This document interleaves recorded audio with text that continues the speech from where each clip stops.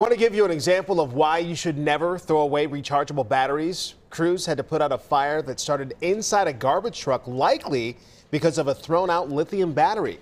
That's also the message from Clay County officials. Right now, you are looking at one of two fires that started at the county's waste facility in the last month. The batteries are part of an uptick in fires that started across the state and country. Our Beret Leone shows us how and why we should dispose of them properly.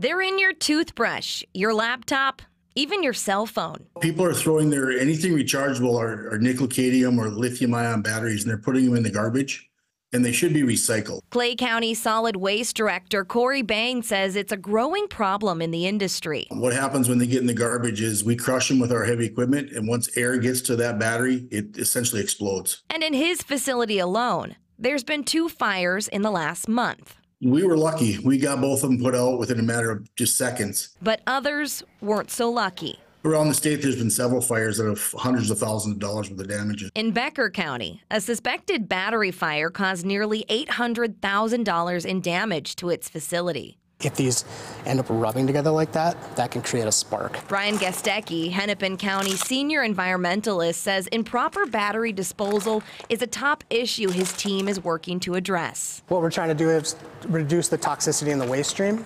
And then we also want to get and make sure these are recycled because we're pulling the raw materials out of the batteries so we can make new ones in the future too. It's a simple ask. To bring them all to us and we will take care of it from there. But there are some things to keep in mind. First, take the batteries out of your device, seal it in a Ziploc bag or tape up contact ends with clear tape, and bring it to your local recycling center. Experts say that last step is most important. We just built a $23 million facility. If the thing burns down, it's only a year old. So it could be catastrophic to a county or, or to any business or home. Beret Leone, WCCO News. Hennepin County has two drop off recycling and hazardous waste facilities. You can drop off items Tuesday through Saturday. We've got more safety tips on WCCO.com.